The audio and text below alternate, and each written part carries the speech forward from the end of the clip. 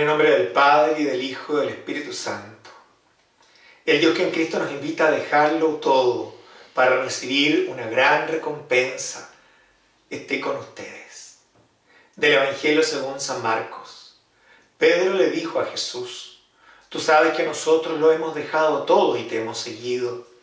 Jesús respondió, les aseguro que el que haya dejado casa, hermanos y hermanas, madre y padre, hijos campos por mí y por la buena noticia, desde ahora en este mundo recibirá el ciento por uno en casas, hermanos y hermanas, madres, hijos y campos, en medio de las persecuciones.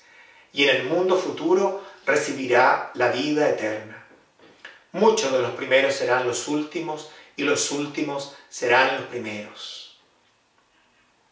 La invitación a renunciar voluntariamente, a desprendernos de cosas, a liberarnos de nuestros apegos, es una condición privilegiada para que Cristo sea el centro, para que el anuncio a la buena nueva sea nuestra tarea primordial.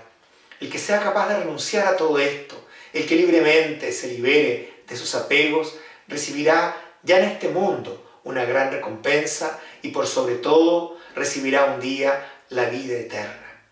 Pidámosle al Señor que nos ayude a desprendernos. Cada uno esta semana puede revisar en su corazón de qué apegos, de qué costumbres, de qué cosas, de qué afectos debo purificarme para ser un verdadero anunciador del reino. Creo, Jesús mío, que estás real y verdaderamente en el cielo y en el santísimo sacramento del altar.